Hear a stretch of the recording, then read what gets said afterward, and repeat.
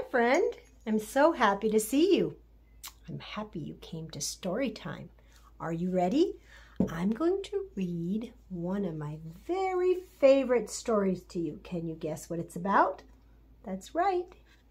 It's about three owl babies. Here we go. owl babies.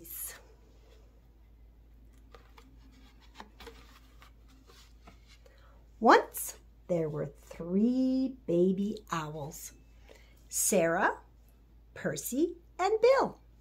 They lived in a hole in the trunk of a tree with their owl mommy. Do you see her? There she is. The hole had twigs and leaves and owl feathers in it. It was their house. Does your house have twigs and leaves and owl feathers in it? Mine doesn't. I have feathers in my pillow though. One night they woke up and their owl mother was gone. Where's Mommy? asked Sarah. Oh, oh my goodness, said Percy. I want my mommy, said Bill. The baby owls thought, all owls think a lot. I think she's gone hunting, said Sarah. To get us our food, said Percy. I want my mommy, said Bill. But their owl mother didn't come.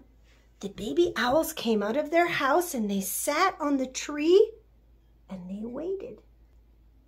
Do you have to wait for your mommy sometimes?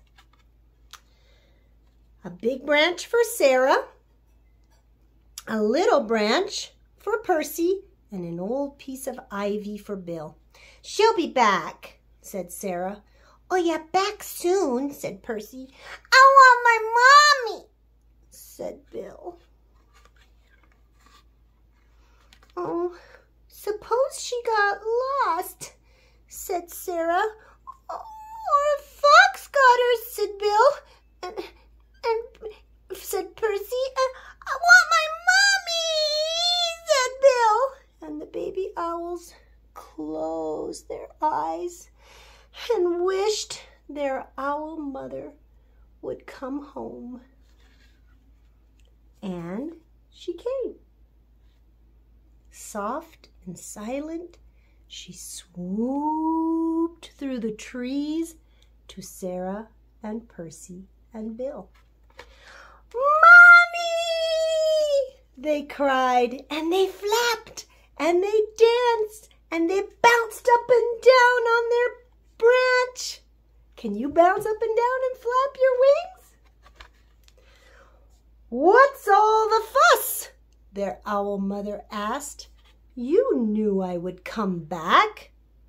The baby owls thought, hmm, all owls think a lot. I knew it, said Sarah. I knew it, said Percy. I love my mommy, said Bill.